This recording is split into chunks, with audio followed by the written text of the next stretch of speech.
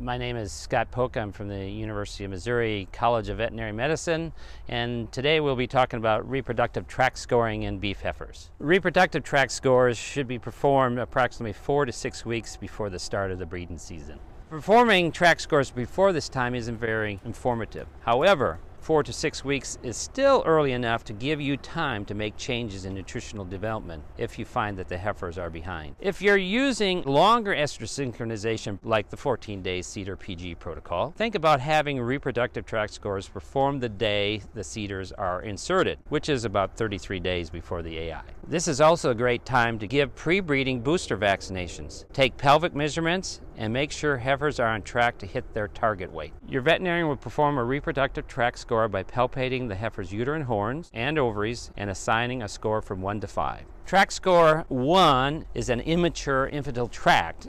Tract score 2 is prepubertal and is over 30 days from reaching puberty. Tract score 3 is peripubertal, which means it's within 30 days of reaching puberty. Tract score 4 and 5 are both cycling heifers that have reached puberty. The difference is that tract score 4 heifers are in the follicular phase and tract score 5 are in the luteal phase.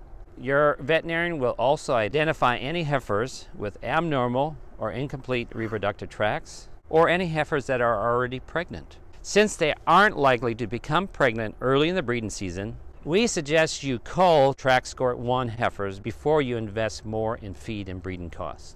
Heifers with a higher tract score become pregnant earlier in the breeding season, calve earlier in the calving season, and have older, heavier weight calves at weaning. We want at least half the heifer cycling, that means a score of 4 or 5, at the start of an estrus synchronization program. If not, you still have four to six weeks before the start of the breeding season to make some changes to the nutritional program. And that's why reproductive tract scoring is so valuable. It gives us a direct measure of our heifer development program and an indication of the success we may have.